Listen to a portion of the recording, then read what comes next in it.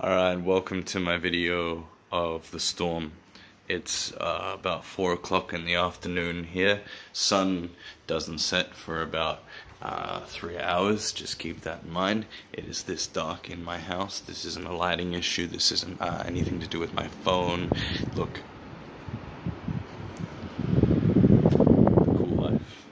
This is just how dark it gets here sometimes. It doesn't look that bad outside actually on my phone, but in here it looks like the sun is setting. It's not setting.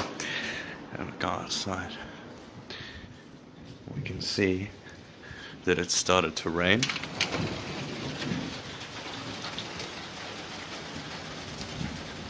Still very hot out here though, despite the fact that it's raining and storming.